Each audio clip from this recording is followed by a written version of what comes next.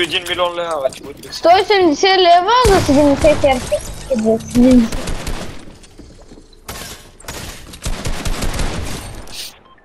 Бач круто.